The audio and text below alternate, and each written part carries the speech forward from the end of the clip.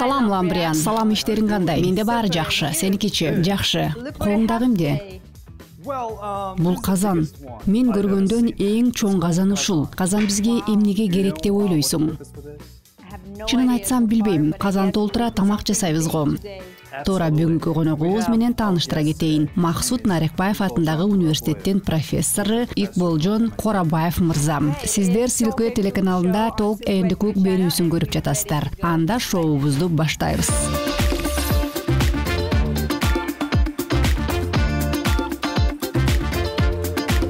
саламатсызбы? Иштериңиз жакшыбы саламатсызбы? Таанышканыма кубанычтамын кош келдиңиз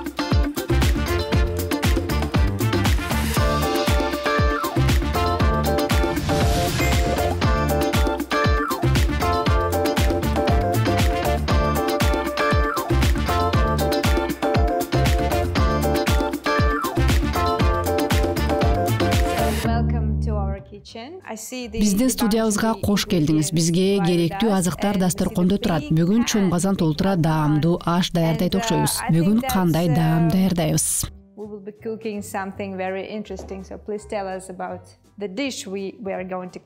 today. I'm from Uzbekistan. So uh, as Uzbek, uh, менин атым икболжон өзүм өзбекстандан болом. Сиздердин берүүгө чакырышканда пало жасайын деп чечтим. Кээ бирөө муну пилав дешет. Өзбекстанда бул болсо аш пало же ош дейбиз.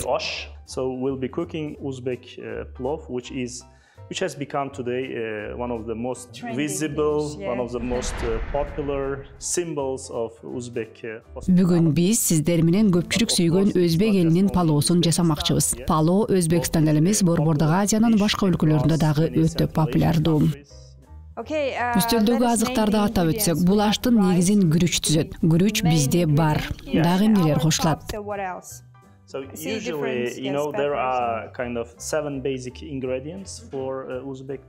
өзбек палоосун даярдоодо жети азык кошулат анын арасында күрүч эт сабиз жана пияз сөзсүз кошулуучу азыктардан сарымсак дагы туз суу май кошобуз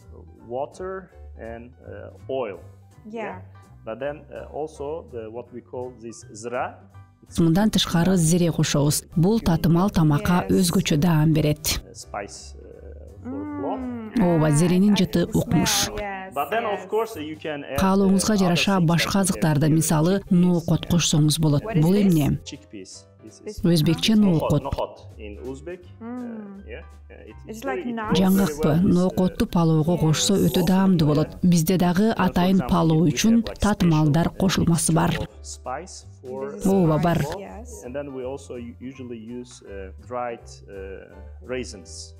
кургак мейиз дагы кошсок болот анда ишке киришели. Казанды отко коебуз пияздан баштайлы биз туурашып жардам берели. палоону даярдаш өтө оңой.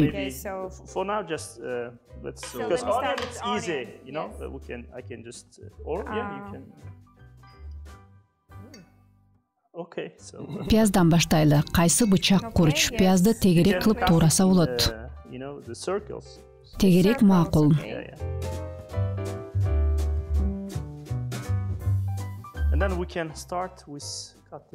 эми этти туурайбыз. Бул уйдун эти койдун этин деле кошсо болот. чоңураак бычак керек экен. башкасын алалычы негизи палоого уйдун эти жакшыбы же койдукубу экөөнүн эти тең жарай берет этти кандай туурайбыз көрсөтүп берейин минтип төрт бурчтук кылып туурайбыз бычак курч этияттамыз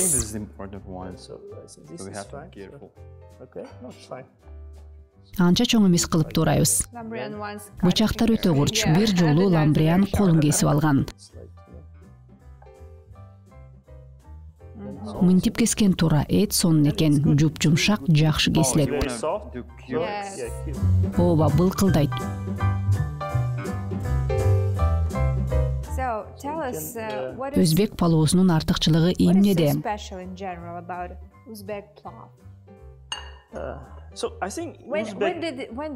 бул даам өзбек ашканасында качан пайда болгон uh, пало өзбек ашканасында көптөн бери эле бар. те илгертен эле аш басып жеп келгенбиз. этти туурай берейин. пало өзбек маданияты менен меймандостугунун ажырагыс бир бөлүгү. үйгө мейман келгенде uh, пало менен тосуп алсаң ага болгон сый урматтын белгиси treating him with pilaf it is kind of the utmost sign of uh, mm-hmm, respect mm-hmm. Uh, and honor. Yeah. So that's why kind of uh, pilaf uh, has become very important part of uzbek culture. And historically you know of course like when you google you know the history of pilaf бул даамга байланыштуу көптөгөн уламыштар айтылып келет бир уламышта палоону даярдоонун ыкмаларынын бири авиценнанын өзүнө барып такалаары айтылат чынбы демек палоонун тарыхы тээ тереңден жаткан экен да ооба авиценна улуу ойчул дарыгер болгон ал букара шаарында жарыкка келген уламыш боюнча авиценна илдетке чалдыккан жаш жигитке дал ушул палоону даярдап берет бул даамдын курамындагы азыктар витаминдерге бай болгондуктан ал тез эле сакайып кетиптир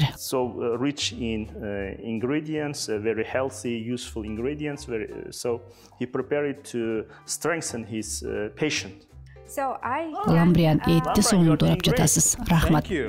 аракет кылып жатам баарын даярдап алдык эми бышырууга киришели бир аз эт калды. азыр туурай кылайын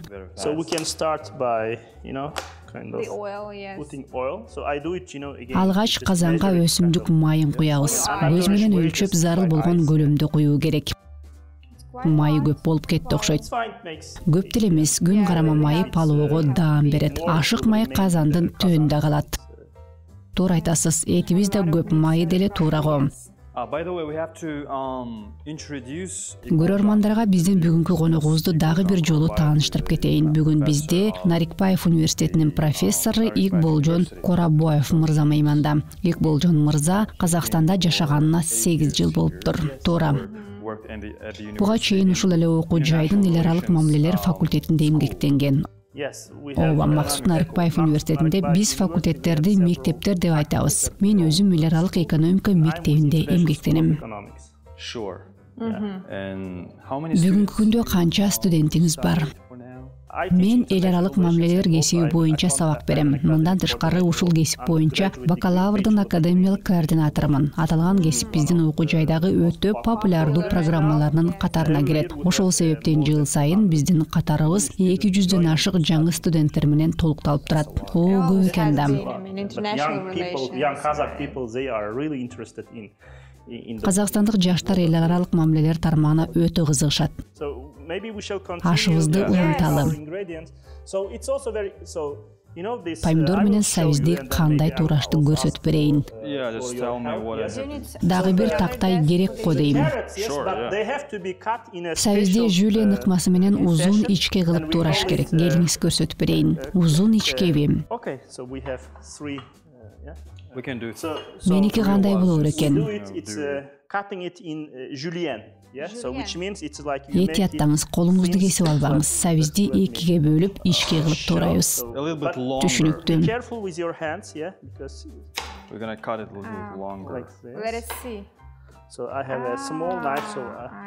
Сіздікіне окшоштурайын деп аракет қылып жатам Қандай аталат дедіңіз, бұл укма жюлиен мааниси кандай француз ашканасынан келген жашылчаларды ичке кылып тууруу ыкмасы түшүнүктүү демек ичке кылып туурайбыз сиздерде палууну негизинен эркектер бышырышат э? Ооба эркектер көпчүлүккө мисалы ресторандарда даярдашат.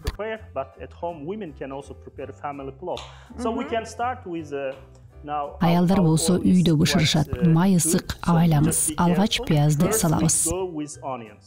Пиязды салат экенбиз биринчи. Um, аял кишинин палоо демдегенин көргөн эмесмин күйүп калбаңыз этияттаңыз аял киши палоо демдегенин көргөн эмесмин аялдар деле жасашат бирок үйдө бизде баарынан uh, апаңдын палоосу даамдуу болот деген сөз бар. ламбриан сабизди мага караганда тез туурап жатасыз го шыгыңыз бар окшойт бул иште сизден ашып кетейин дегеним жок. Шеф бул жерде сизсиз го сабиз туураган жактан ашпоозчудан кем калбайбыз. Өзбекстанда негизи палоого сары сабиз кошушат. Сары сабиз кызык экен. Um, жарым казан палоо болчудай ооба казандын жарымынан чыгат. куурулган эттин жыты буркурайт. Пияз жыттанып жатат го этти жакшы кууруп бир аз татымал кошобуз.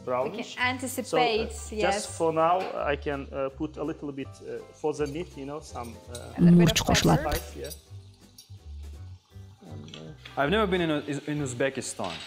өзбекстанга барып көрө элекмин бир жолу эле грецияга ташкент аркылуу учкан элек. Ташкенттин аэропортун трансфердик коридордон эле көрүп калгам.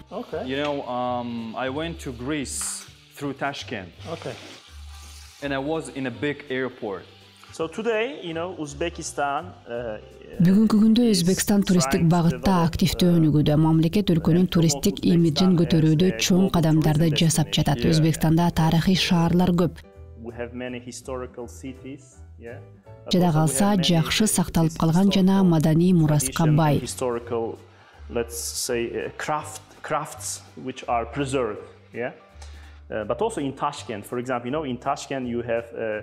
биздин өлкө байыркы мезгилден бери сакталып келе жаткан кол өнөрчүлүгү менен дагы белгилүү ташкентте казак элинин көрүнүктүү ишмери төлө бийдин күмбөзү бар экенин билесиздерби. Ташкенттеги улуттар тарых музейинде осмондун үчүнчү халифинин мезгилинен бери сакталып калган курандын байыркы кол жазмасы бар. Туризм багытындагы инфратүзүмдү өнүктүрүү боюнча суроо бергим келип турат. Инфратүзүмгө байланышкан баардык көйгөйлөр чечилди деп ойлойсузбу. Бул абдан маанилүү нерсе. Анткени казакстанда бул маселе али курч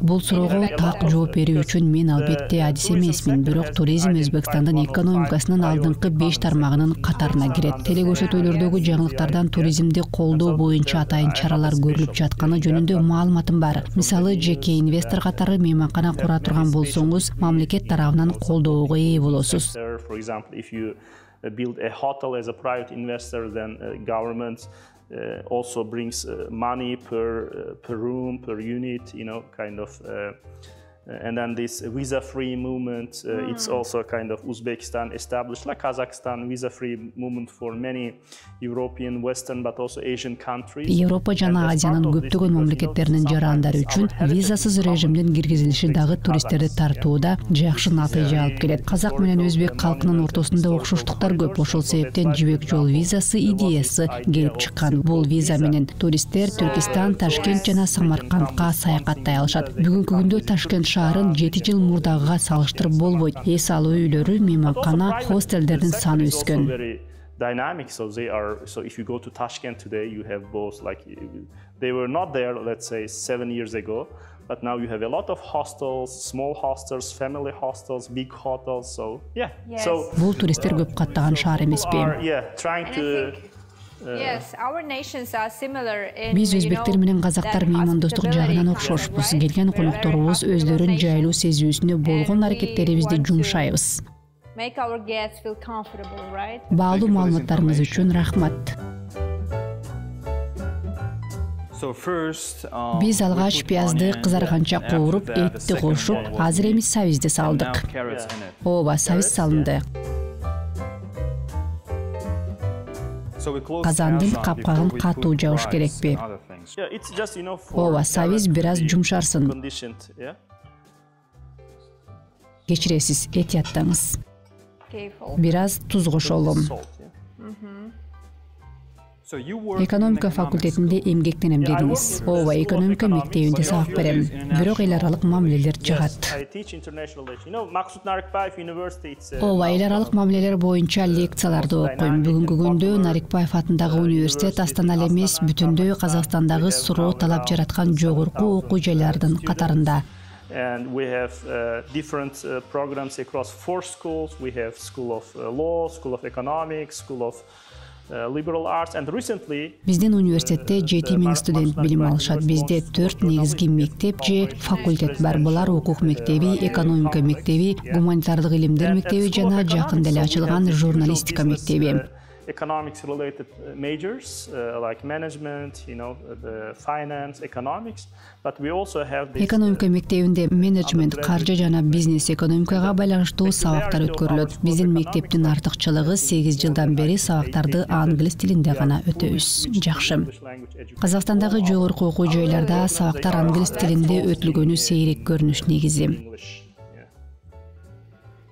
ооба бул өтө маанилүү бирок силерде сабактар казак жана орус тилдеринде өтүлүүчү кесиптер дагы барбы it's very important. But they have also Russian and Kazakh. Yeah, of course. Like in uh, in in other schools, you have this, uh, you know, the different programs. ооба башка мектептерде сабактар казак жана орус тилдеринде өткөрүлөт эл аралык мамилелерди окуп үйрөнгөн биздин студенттер үч тилди эркин билген билимдүү жаштар of course like all our students because they are very bright students with high performance at school they already know kazakh russian yeah?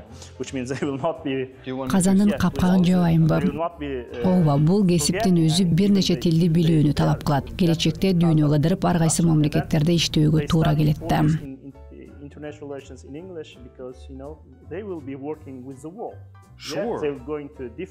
бул биздин жаштар үчүн жакшы мүмкүнчүлүк. uh, ооба кесиптин талабы боюнча англис тилин билүү зарыл. jobs business government etc and here you know the english language is very important. I will just check сабиз жумшарыптырбы көрөйүнчү good enough because then we will жумшарса үстүнө дагы суу кошобуз жумшарып калыптыр How it goes over yeah. there. Emi. Our ingredients are doing well. Yeah, it's really yeah, yeah, very well. Yes. And, and, maybe we can also we have this whole garlic. Yeah. yeah. Mm -hmm. shall I put it? Mm -hmm. Would you like? Yes. Yeah. Why not? Yeah. Then I will just uh, бүтүн сарымсакты сала берейинби ооба бышкан сарымсактын даамы жагат. Баарын тазалабай эле коюңуз. Сырткы кабыгы менен түбүн кесип койсоңуз эле болду. Эмнеге сарымсакты палоого бүтүн кошушат болду экен? Кээ бирөө тазалап туруп эле салып коюшат го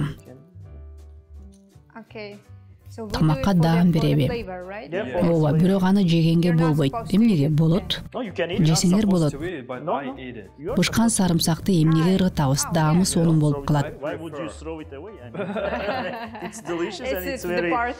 түшүндүм. Кабыгы менен бышкан сарымсакты кантип жеш керек деп таң калып сурап жатам да. палоо бышканда сыртын алып таштап жей беребиз. билип жүрөйүн түшүндүм билбептирмин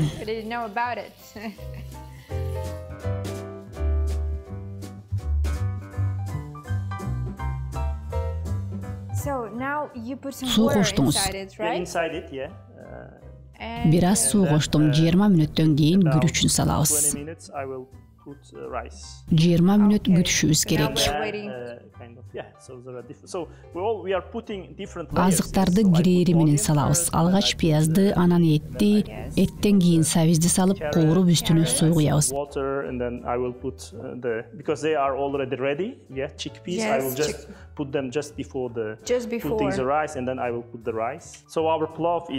мен күрүчтүн алдына ноокот дагы коштум суу куюп ал кайнап чыгышы керек күрүчкө келсек өзбекстанда атайын палоо үчүн күрүчтүн түрү бар экендигин билесиздерби мисалы азыр бизде үстөлдө ичке узун болгон лазер күрүч турат мен туулуп өскөн анжеянда күрөң жана кызыл күрүчтөр өсөт but in the city where uh, i'm from andijan we have a brownish uh, reddish rice which is called devzra. It's also popular but here we have a rice. And yesterday i learned from кечээ эле uh, жубайымдан палоо жасоонун бир сырын билип алдым күрүч салаардан беш мүнөт мурда анын үстүнө кайнак суу куюп туз кошуп койсо эзилип же жарылбай калбайт экен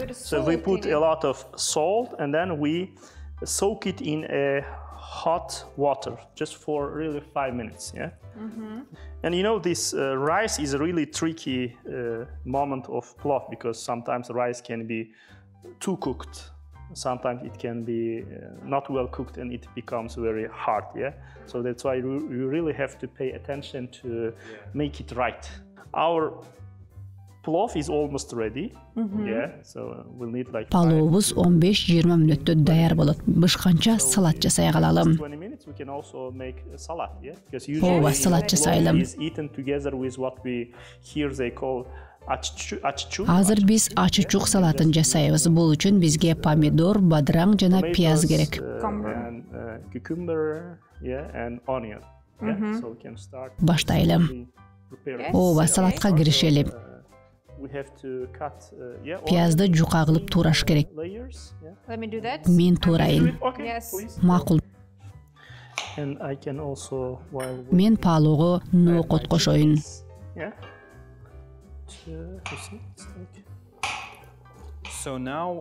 күрүч көп тузду сиңирип алып жатат. ооба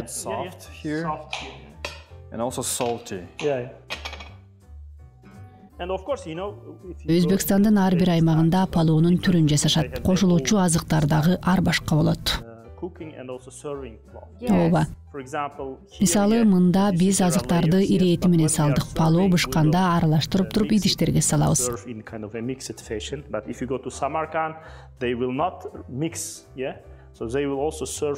самаркандта болсо аралаштырбастан күрүчтү өзүнчө эт менен сабизди ар башка бышырышат табактын астына күрүч үстүнө сабиз анан эт коюлат ар бир азыктын даамын өзүнчө сезет экенсиң да. ооба башка аймактарда бизге окшоп табакка салыштырып туруп эле салышат. күрүчтү салабыз азыр сарымсакты алып чыгып ташташ керек соусуна даамы чыкты. Ооба күрүчтү казанга салабыз. тузу кошулуп даяр. Ооба бир аз тузу бар күрүч ысык сууда туруп бир аз жумшарып калыптыр.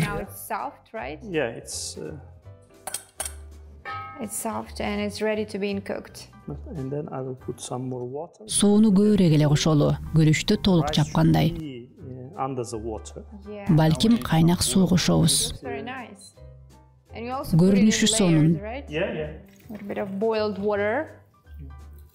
бир аз кайнак суу кошуңуздар күрүчтү жаап турсун суу кайнап баратат отту көбөйтөбүз жакшы кайнап чыксын.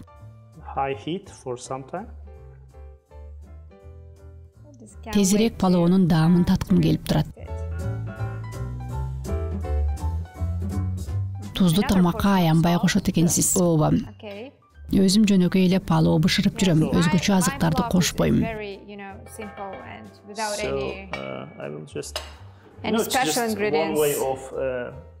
күрүч жакшы демделсин үчүн үстүн чоң табак менен жаап коебуз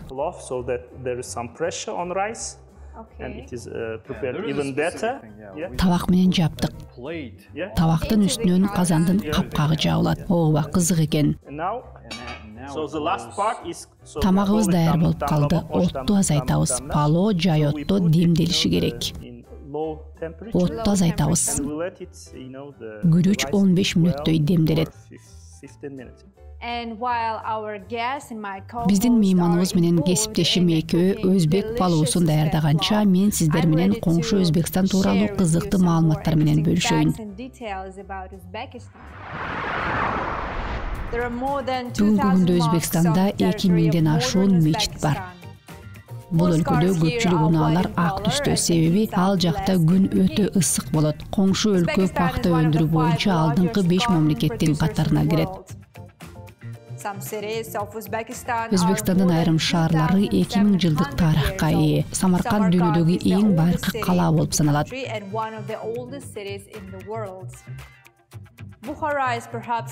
ал эми бухара өлкөдөгү эң ысык шаар. ташкентте болсо түнү жарык болгондуктан жылдыздар жылырап даана көрүнөт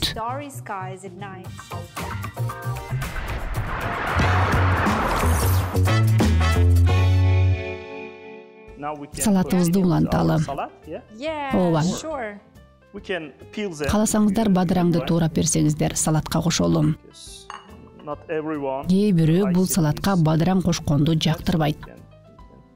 Мага бергилечи туурайын. Uh, Бул бадыраңды туурасаңыз.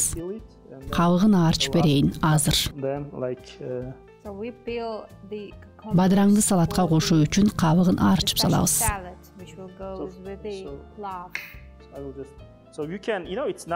бадыраңды каалагандай туурай берсек болот. Ооба мага дагы ушундай жагат.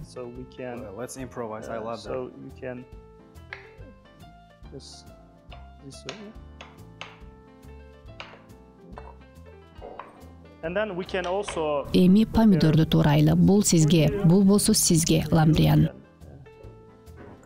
Okay. again we can yeah, муну so деле өзүңө жаккандай туурай бергиле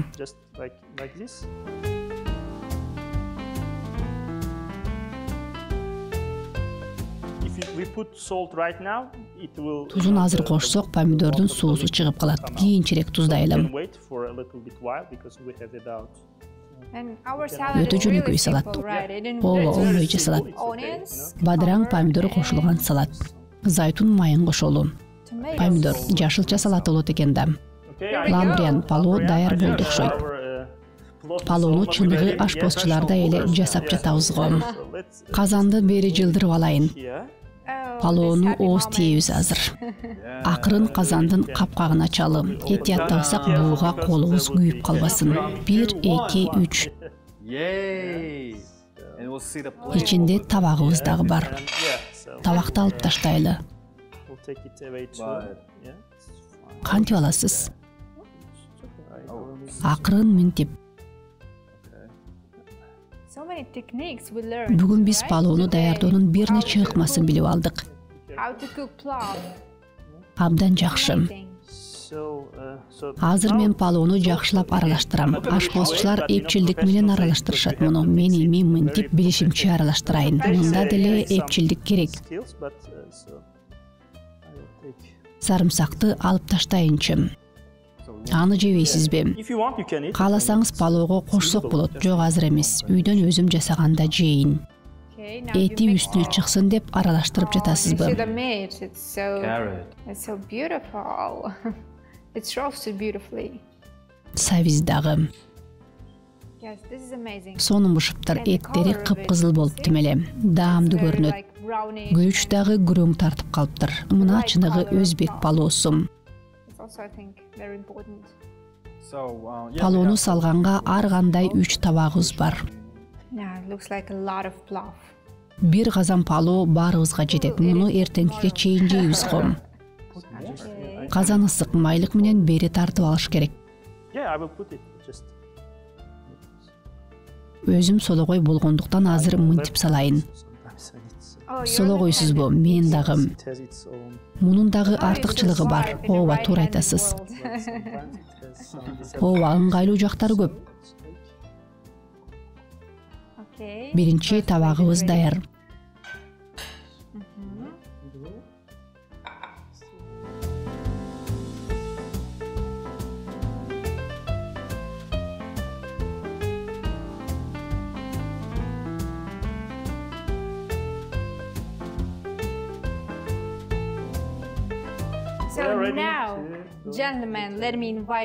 коңшу бөлмөгө өтүңүздөр палообузду даамдаталым макул бул табактарды алып алалым Okay, let's go. Let's go. Let's take. Okay.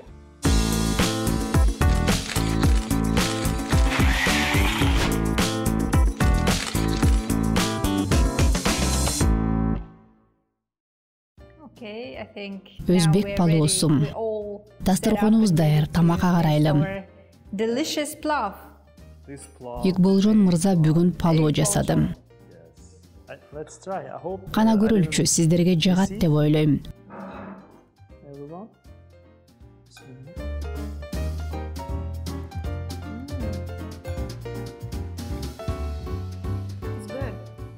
Өтө даамдуу болуптур чыныгы өзбек палоосу.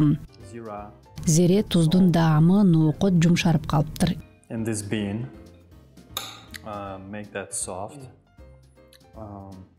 Этчи кана көрөлүчү. Сонун. Hmm? Аш болсун бекболжон мырзанын аркасында биз кереметтүү өзбекстанга барып келгендей болдук. палауымыз өте дәмді болып тұр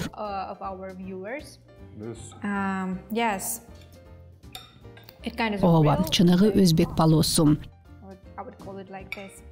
эми мейманға мейманга өзүбүздүн улуттук даамдарды сунуштайлы азыр мен алып келем бул биздин экболжан мырзага белегибиз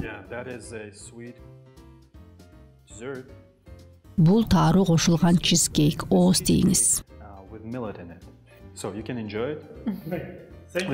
рахмат мага чизкейк абдан жагат. Казактын улуттук азыгы болгон таару кошулуптур меймандостугуңуздарга ыраазымын. Extra joy yeah. Thank you so much Yes. for your hospitality. I like муну көрөйүнчү thank you. Yeah let me use this desert spoon yeah bismillah it's this cow таару менен быштак кремине анар кошулуптур granate uh, муну биз казакча тару дейбиз өтө даамдуу экен өзгөчө бир даам сездиңизби ооба чизкейк менен сонун айкалышыптыр даамы заманбап фьюжн ашканасындагыдай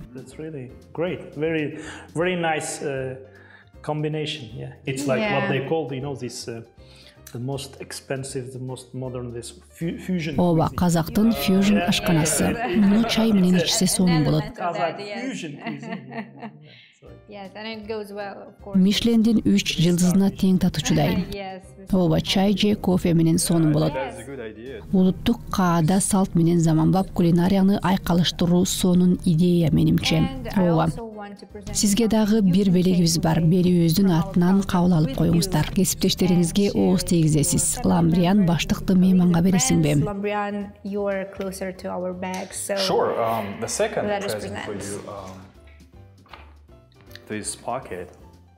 сөзсіз ішінде атайын қамдап қойған белегіміз бар uh, this box with sweets. It's amazing. So you literally find um, um, these pieces of chocolate. Бұл шоколадтуу джент қазақтың ұлттық таттысы. You just can taste it and enjoy. That's for you.